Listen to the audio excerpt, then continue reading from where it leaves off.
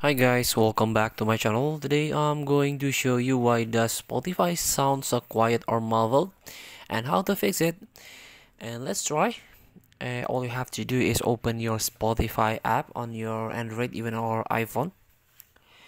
And you know, as a side note, if you want to even louder sound from the regular levels, you can play around with the equalizer settings.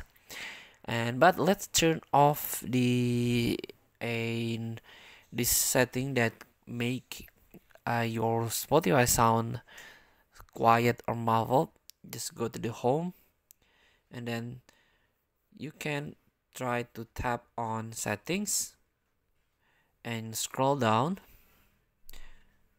Try to search the normalize volume. You can turn this off so, if you want to a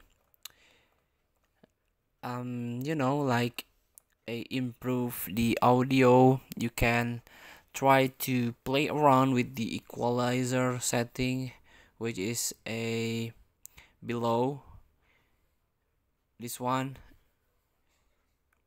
You can try to a enable and try to play around the equalizer on your Android phone instead of enable and normalize volume. Thank you for watching. Don't forget to comment, like, and subscribe and circle the test button below. See you in the next video.